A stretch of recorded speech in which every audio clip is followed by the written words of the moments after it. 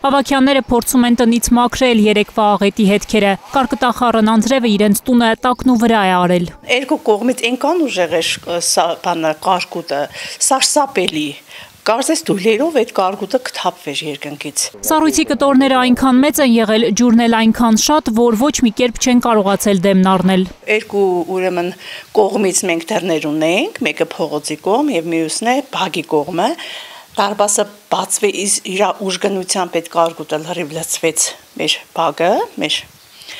ու ինքը մնացածը տունը։ Տանը ինչ ունեին փչացել է Գյումրիի քաղաքապետ Սամվել Բալասանյանը զարմացած է։ Սա աննախադեպ երևույթ է վերջին 170 տարում։ Հիդրոմետկայանից ծառայությունից ես այսօր տվյալներ վերցրեցի։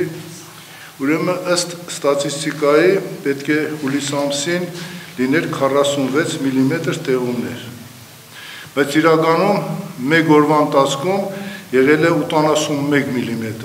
Հայաստանի երկրորդ քաղաքի փողոցները երեք ջրի տակ էին մնացել, փակվել էր գարեգին նժդեհի հրապարակը, Մուսայելյան փողոցը, Գյումրիի ավտոկայանից Լալայան փողոց տանող հատվածը ու մի քանի փողոց եւս։ Շատ թաղամասեր հոսանքազրկվել են, մեքենաները ջրածածկ եղել։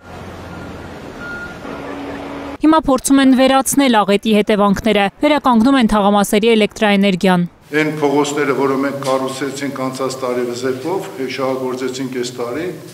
եւ շահագործում ենք, այդ փողոցները, չգիտեմ, ուշադիր եղաք թե չէ, յուրահատուկ է ջրահեռացման համակարգը, որը կառուցվեց նոր։ Քաղաքապետը խնդրում է գյումրեցիներին գետակներում աղբ չթափել, երեք երբ ջրի հունը բարձրացել էր, ավտոկայանը աղբի մեջ էր, բայց տղաները լավ են աշխատել։ Հերոսական ջանքերով մեր կոմունալի, այնի, նաև շատ շահագրգիռ մեր քաղաքացիների